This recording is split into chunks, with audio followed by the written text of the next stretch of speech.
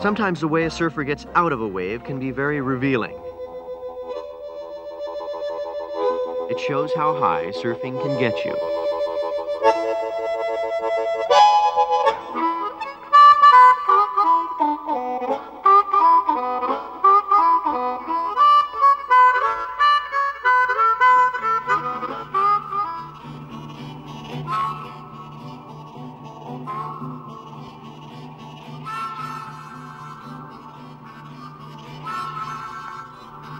It gets Angie Reno very high.